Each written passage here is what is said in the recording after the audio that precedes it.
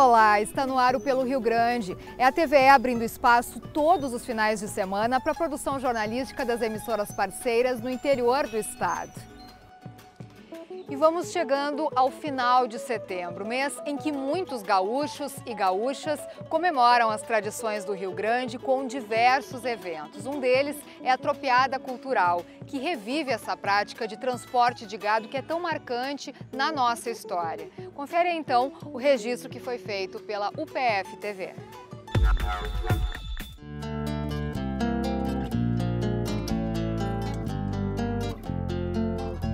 Olhando de cima, dá para ter uma ideia do trabalho que tinham os tropeiros quando atravessavam estados para transportar mulas, mantimentos, especiarias e cabeças de gado. E foi com a proposta de resgatar esta prática fundamental no povoamento e na formação cultural e econômica do Rio Grande do Sul que um grupo de tradicionalistas organizou uma tropeada cultural. E para começar, o trajeto de 100 quilômetros cerca de 50 cavaleiros, entre homens e mulheres, se prepararam para conduzir 130 cabeças de gado. E foi na propriedade da família Cipriani, em São Domingos do Sul, que o gado foi arrebanhado para o início do trajeto. A Secretaria de Educação do município mobilizou escolas para acompanhar a atividade. Uma emoção diferente para esses jovens que nunca viram uma tropeada, apenas ouviam falar. Mas há quem na pouca idade já viu, sabe como é e procura levar esta história adiante. É o caso da Isadora, primeira prenda juvenil do estado e que vive aqui em São Domingos do Sul. E tendo evento como esses que acabam incluindo o meio escolar dentro de si, a gente adquire mais pessoas para o tradicionalismo e faz com que essas novas pessoas possam também ter um pouco do conhecimento sobre o porquê da história do Estado, o porquê que a gente realizou essa tropiada e todo o sentido histórico que ela tem. É uma festa, sempre com café tropeiro, com almoço tradicional gaúcho, né? E a janta também é sempre uma festa. E o cuidado extra com o gado também, né, prefeito? Claro, a gente, por isso que vão andar 100 quilômetros, vão ter várias paradas, né? Isso para preservar também o gado, né?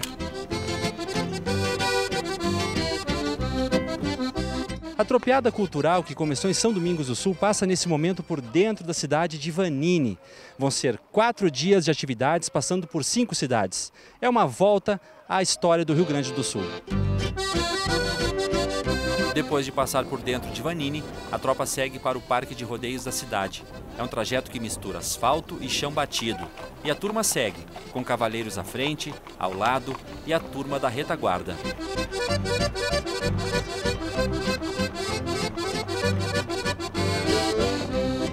E aqui no Parque de Rodeios de Vanini é a hora da pausa para o almoço, para o lanche. Então aqui ó, tem umas linguiçinhas no fogo para dar de comer esse pessoal todo que trouxe o gado para cá. Enquanto o gado descansa, os cavalos descansam também e o pessoal enche um pouco a barriga. A pausa foi rápida porque a viagem precisa seguir, mas foi um tempo importante para conferir os cascos dos animais, deixar os cavalos se refrescarem e pensar no que será feito daqui para frente. O quanto é importante esse momento? Esse momento é para eles se recuperarem, porque o começo da tropeada ele normalmente é meio tumultuado. Por causa que o, o gado ainda está no terreno deles, eles sabem, eles estão seguros com eles mesmos e sabem onde é cada buraco, cada brecha para eles poderem entrar. Então agora eles já vão dar uma acalmada, eles já estão em terreno diferente, eles vão cada vez mais permanecer juntos para se sentir seguros. Então a partir daqui tende a, a se alinhar é a família da Mariana quem cede o gado para o evento. Já foi assim nas outras vezes que a tropeada foi realizada. Como das outras vezes deu tudo certo, não foi perdido animal em nenhum lugar. Apenas dessa vez deu um pouquinho de entreveiro lá na, no começo, mas elas ficaram perto de casa, daqui a pouco volto para casa até sozinhas. Se não, é, é bem tranquilo, a gente recolhe depois. Ainda que tem pessoas dispostas a deixarem as, as suas casas, suas tarefas diárias para fazer o resgate cultural de uma atividade histórica. Né?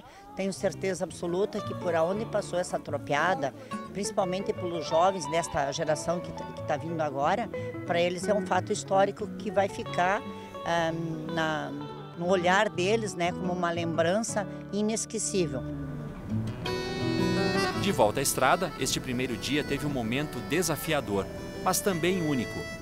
Nesse primeiro dia dos quatro que será feito o trajeto, esse é o momento mais legal, porque é a hora de passar o rio. O gado fica meio receoso, mas tem que seguir a tropa. E esse aqui é o rio São Domingos, interior de Vanini. Para a travessia, os cavaleiros precisam ter calma. Um gesto errado, uma atitude exagerada, pode gerar um transtorno irreversível. Por isso, na tranquilidade, o ponteiro abre caminho para fazer o gado seguir de atrás. E foi bem assim. Isso tudo com apoio de cães, porque uma tropeada que se preze tem que ter uns cuscos para ajudar. Esta foi a terceira edição da Tropeada Cultural, uma ação que resgatou a história e um hábito que era muito comum no Rio Grande do Sul. Depois de São Domingos do Sul, a tropa passou por Vanini, como vimos, e seguiu para Santo Antônio do Palma, Casca, Paraí, retornando a São Domingos. E o seu destino também vai nesse deponte, igual a tropa nesse tranco, estrada fora, sempre encharcado de horizonte. Pelo Rio Grande faz uma pausa e volta daqui a pouco. Fique com a gente.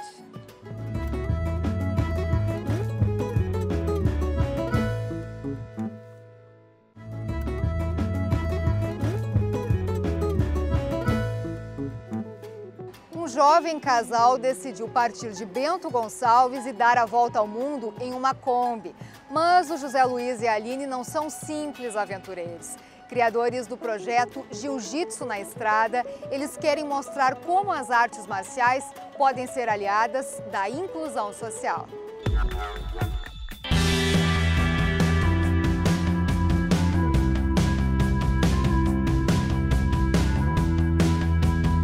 O jiu-jitsu na estrada foi saindo do papel e virando cada vez mais realidade.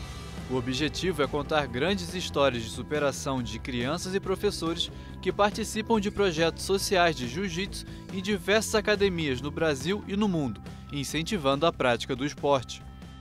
Muitas pessoas têm o desejo de viajar, conhecer vários países, mas o que falta? Coragem? E que tal colocar tudo dentro de uma Kombi e sair por aí, conhecendo o mundo? Por que não? A gente vai lá, a gente vai filmar e fotografar e produzir vídeos em alta qualidade das crianças, da história do professor, da história do projeto e a gente vai produzir esse vídeo para que esse vídeo seja uma espécie de currículo desse professor, que com esse vídeo ele possa ir na iniciativa pública, iniciativa privada, buscar recurso, buscar verba. Essas crianças são tão carentes de kimono, de lanche, de transporte para um campeonato, enfim, de muitas coisas. E é isso que a gente quer fazer, a gente quer fazer essa espécie de currículo para que o professor possa angariar recursos para o seu projeto social. A gente quer dar visibilidade para essas crianças. Cheio de ideias, José mudou completamente seus planos quando Aline chegou em sua vida. A namorada, parceira em todos os momentos, não pensou duas vezes quando ele comentou sobre o desejo de deixar tudo para trás e viajar pelo mundo. Eu me senti não tão sozinha no mundo, porque quando a gente se conheceu eu trabalhava numa empresa, eu estava terminando uma faculdade e eu sempre tive na minha cabeça de quando eu terminasse a faculdade eu ia sair pelo mundo também. Então quando ele me mostrou, eu pensei, meu Deus, é muita coincidência.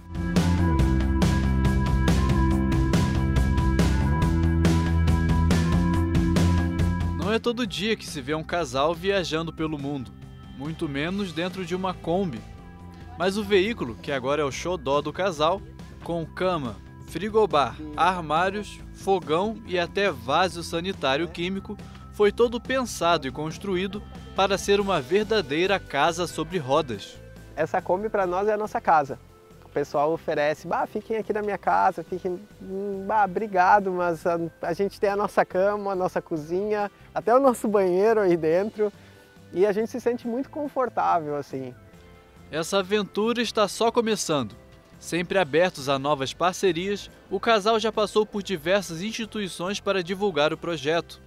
Tudo para o jiu-jitsu na estrada dar cada vez mais certo. A volta ao mundo vai começar e não para por aí. Eu falo com a Aline que às vezes a gente fica meio em transe, né? Por causa que é tanta gente que vai ajudando, que vai colaborando, que participa de uma forma, que participa do, de outra. Tanto eu quanto o José Luiz, a gente gosta muito desse movimento. Então, talvez o jiu-jitsu na estrada possa sim, algum dia daqui a anos, ter uma finalização, mas não uma finalização para morrer, uma finalização para ter outro projeto da mesma forma. A gente nunca vai estar tá parado, a gente não, não é o nosso perfil. Então, terminando aqui, a gente vai usar isso para dar início a um outro projeto muito semelhante.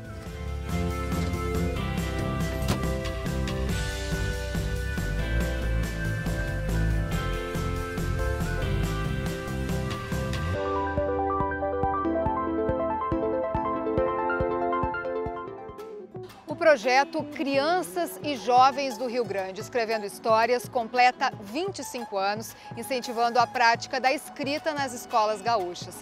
Nós vamos conhecer agora a Laura, estudante de Erechim, que terá o seu conto publicado em livro neste ano. Contar e mostrar a sua história.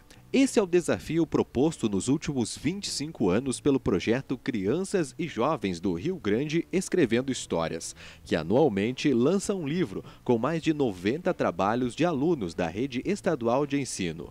O deste ano será apresentado na tradicional Feira do Livro de Porto Alegre. Um desses trabalhos escolhidos na edição especial dos 25 anos foi o da Laura, estudante da Escola Estadual Antônio Burim, na comunidade de Povoado Coan, no interior de Erechim. Uma escola do campo com apenas 25 alunos, que se mantém graças à ajuda da comunidade. Para chegar até aqui, a jovem sai de casa todas as manhãs e percorre cerca de 5 quilômetros.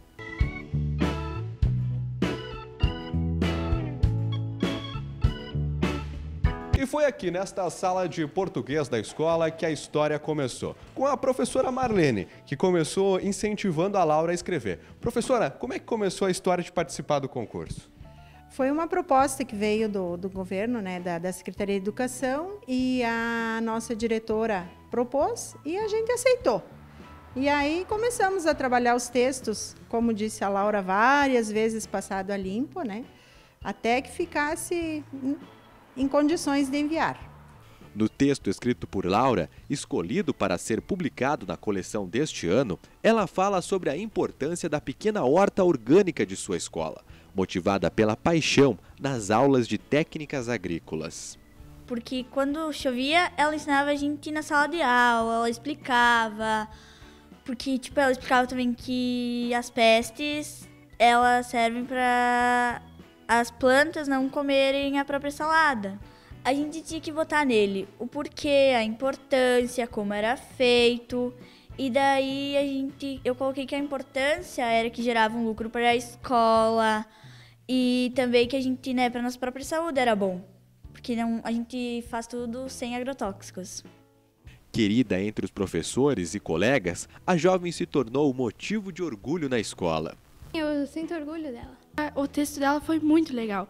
E eu, ach... e eu me orgulhei da minha colega que ela vai para Porto Alegre representando a escola. Mas, eh, tipo, a gente tem muito orgulho dela ter ganhado. É uma satisfação muito grande, a gente ficou muito emocionada, porque eu incentivei muito a professora e, eu, e os alunos a escreverem. Então eu fiquei muito feliz e também em casa, para o pai, que é ex-professor e atualmente trabalha como agricultor.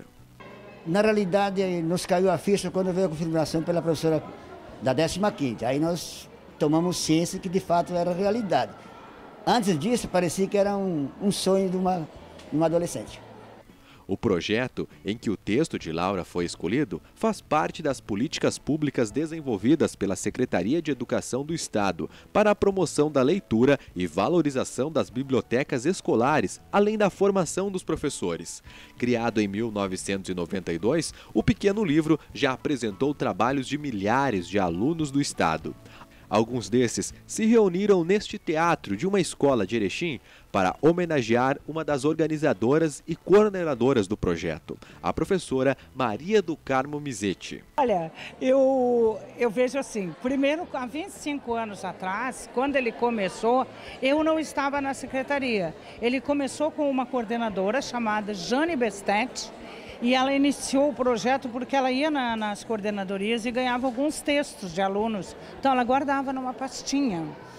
E um dia ela pegou aqueles textos, olhou e disse: Eu vou fazer um livro com esses textos. Assim nasceu Criança do Rio Grande Escrevendo Histórias.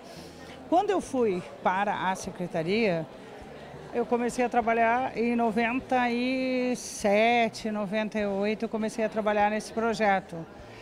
E estou até hoje. Porque quando eu não trabalhava na, no livro, eu trabalhava na feira, na divulgação.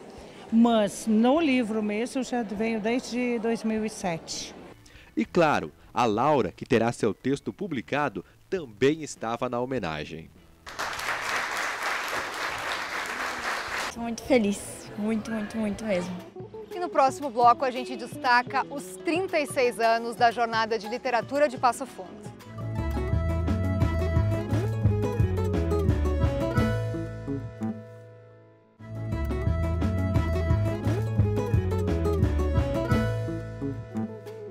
A Jornada de Literatura de Passo Fundo começa nesta segunda e chega à sua 16ª edição, consolidada como um evento nacional.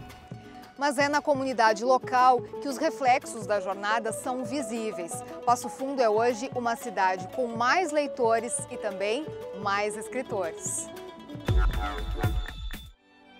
E dizer que uma vez a impressão de um livro, um texto, era feito por aqui, para se ter uma ideia, esta impressora é de 1930. Outros tempos. Hoje o livro está em outro momento. Compartilha de um público conectado em múltiplas tecnologias. E aprimorar meu conhecimento para a escrita foi uh, muito legal, porque me ajudou a passar por fases difíceis da vida. Eu achava bonito botar no papel assim, eu ainda acho isso me ajuda eu a escrever, a pensar, a ter ideias diferentes. Foi uma renovação, uh, jeito, novas coisas para aprender. Esta ideia de fazer o adolescente escritor nasceu aqui, na Academia Pasfundense de Letras, em Passo Fundo. Uma vez por semana são realizados encontros para falar de livros e leitores. Esse é um trabalho em parceria com a Secretaria de Educação do município. Os alunos escrevem sobre os assuntos mais variados. E quanto ao gênero literário, o que predomina é o conto, mas tem poemas e crônicas cada semana vem um escritor e, e, e, estabelece esse contato com eles. Fala de suas obras, fala dos seus escritos, é, dá leitura para eles, dá coisas para eles escrever. O projeto Identificando Talentos nasceu em 2016. Este ano conta com 50 alunos. A Maglione e o Luiz participaram da edição anterior. Cada um contribuiu com no mínimo dois contos pretendo escrever um pouquinho mais esse ano, sabe? Porque eu acho que eu tenho bastante coisa a oferecer para esse livro novo. Tu pensa colocar quantos textos nessa edição? No mínimo uns cinco, porque esse ano, além de contos, eu estou produzindo bastante poemas e poesias. Eu acho que elas estão bem bacanas, dá para botar mais de uma. Eu gosto de escrever bastante contos sobre aventura. Sobre aventura, cotidiano também? Sim, às vezes eu escrevo algumas crônicas sobre o que acontece com nós. A Bruna e a Daniela são alunas do nono ano. As duas têm contos publicados no livro da academia. Elas foram escolhidas pelo interesse que demonstraram em sala de aula. Principalmente a matéria português, a gente tem trabalhos de redação agora, né? E a gente vê muitas coisas que a gente aprendeu ali na academia, que eles falam lá pra gente, como monta uma redação, um texto dissertativo, e sempre vai contribuindo para na escola.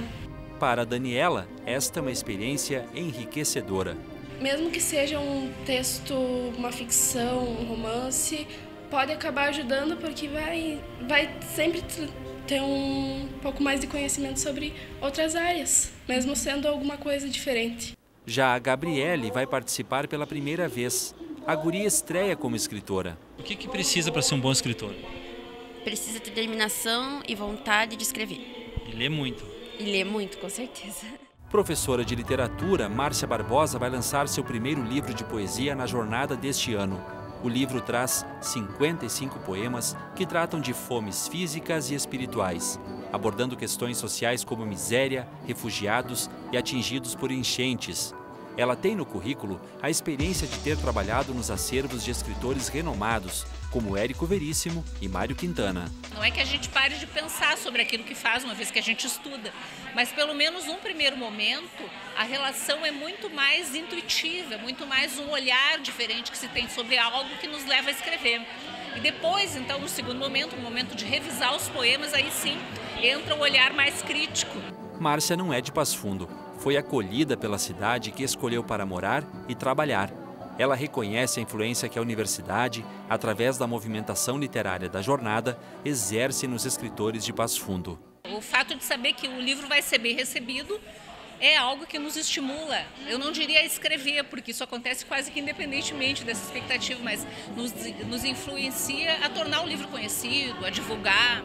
Aqui na biblioteca da UPF encontramos concentrada no trabalho a Lidiele. Formada em contabilidade, ela largou os números para se dedicar às letras. Ela acaba de lançar um livro na web de contos com 38 páginas. Com o nome Ten, que significa 10 em inglês, ela narra o drama de um sequestro e a luta da sua personagem para escapar do agressor. Eu acho que eu tento tran transparecer um certo sofrimento naquilo que eu escrevo. Então o livro, o conto, ele é direcionado ao que a focar no sofrimento que a personagem passa, né? Não é necessariamente ao acontecimento em si, mas toda a dor que ela carrega dentro dela durante o acontecimento. Lidiele escreve todas as manhãs e mais duas horas à tarde. Ela trabalha na elaboração de um novo livro. Ele é baseado em fantasia e aventura, né? Eu me inspirei muito em Tolkien para escrever, então é, um, é uma coisa bem ficção assim. As flores são coloridas, fazem parte da natureza. Todas elas são formosas, o que espalham é beleza. E o projeto da Academia Pasfunense de Letras vai além das oficinas realizadas com os alunos. Este ano, de forma inovadora, levaram o conhecimento dos escritores para a Escola de Vida do Hospital São Vicente de Paulo.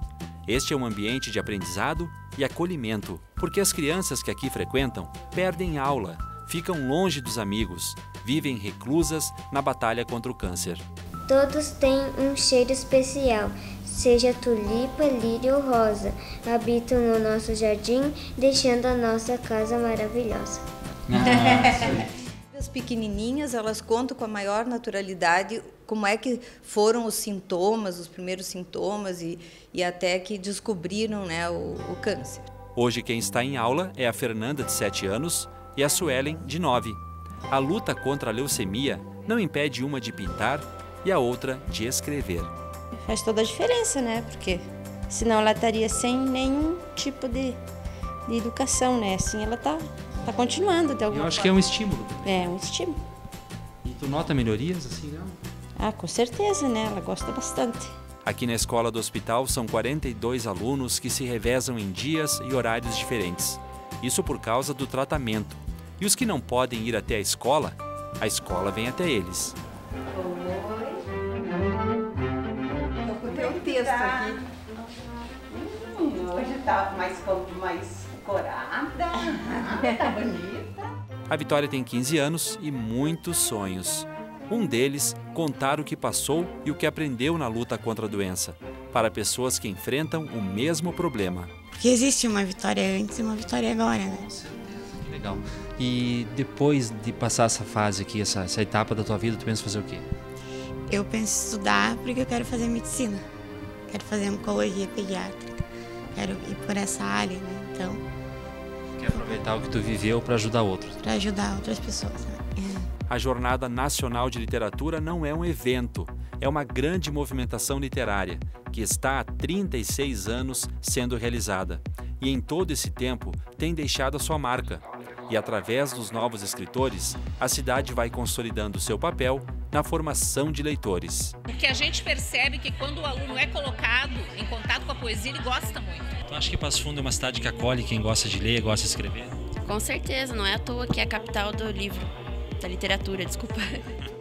E a gente volta no próximo sábado, mostrando um pouco mais do que acontece pelo Rio Grande. Até lá!